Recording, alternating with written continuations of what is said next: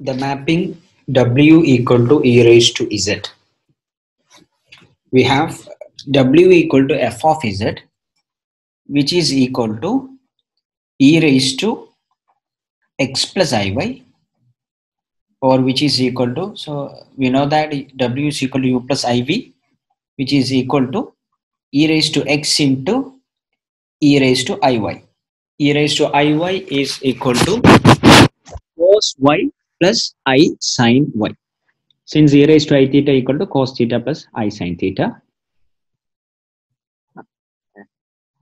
So the real part of the function f of z is equal to e raised to x into cos y. Imaginary part of the function f of z is equal to e raised to x into sin y. Now, on squaring these two real and imaginary part, u square plus v square is equal to e raised to x the whole square into cos square y plus e raised to x the whole square into sin square y, which is equal to e raised to x taken as a common factor. The remaining terms is cos square y plus sin square y. So cos square y plus sin square y is equal to 1, which is equal to e raised to 2x e raised to 2x so e square u square plus v square is equal to e raised to 2x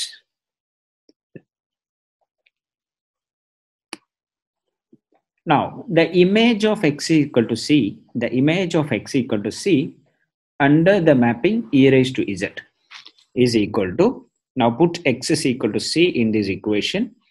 You'll get u square plus v square is equal to e raised to 2c. So it represents a circle with center 0, 0 and radius e raised to 2c. As you can see in this graph. Z plane, so this is your Z plane, x equal to c, the line x equal to c mapped onto e raised to 2c, a circle in w plane, center at 0, 0 and radius e raised to 2c or simply I can write modulus of w is equal to mod w equal to so this is the circle mod w equal to e raised to 2c okay.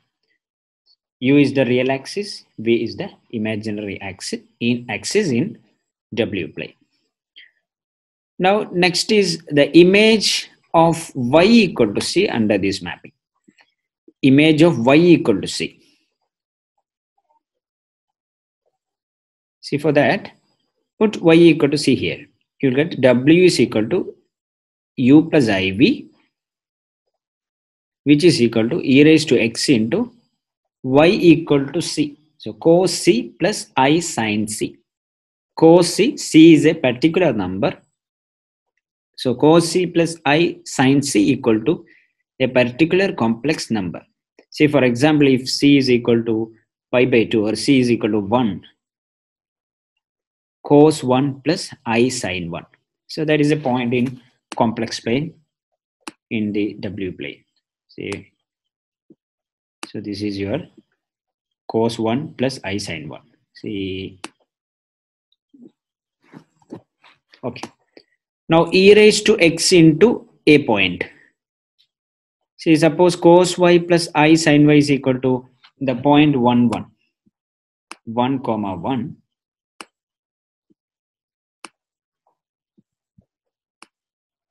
Say 1 comma 1. e raised to x into 1.1, 1 comma 1 or 1 plus i is equal to e raised to x. Put x is equal to any value, e x is a real number. For any x, x is a real number, e raised to x is again a real number. So this number, this complex number into a real number, which is equal to a ray. As you can see in this graph, image of y equal to c is a ray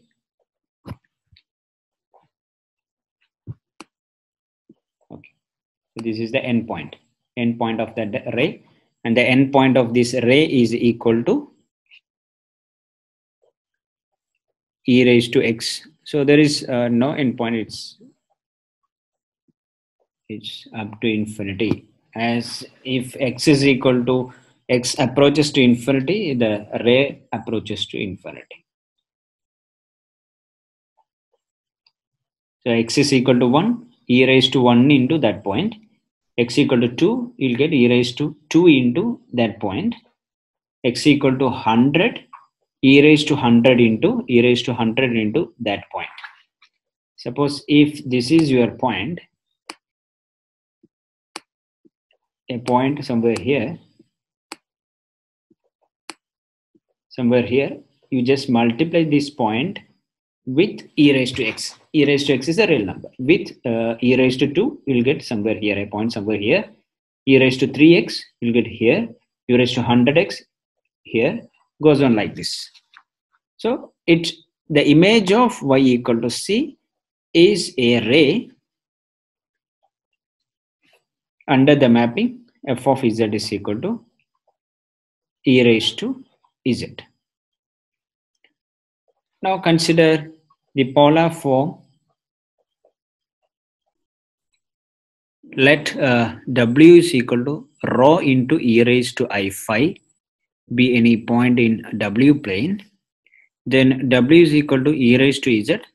E raised to z is our mapping which is equal to rho into e raised to i phi. So put z is equal to x plus iy so which is equal to e raised to x plus iy now compare both side. Rho equal to e raised to x and e raised to iy is equal to e raised to i phi. So which is equal to e raised to x into e raised to iy rho equal to e raised to x, e raised to i phi equal to e raised to iy, or phi is equal to y. Now consider the strip image of our aim is to find the next aim is to find the image of this infinite strip x less than or equal to 0 and y is between 0 and pi. So this is the line y equal to pi and y equal to 0 x is less than 0 so this is x equal to 0 the line x equal to 0 or the real y y axis.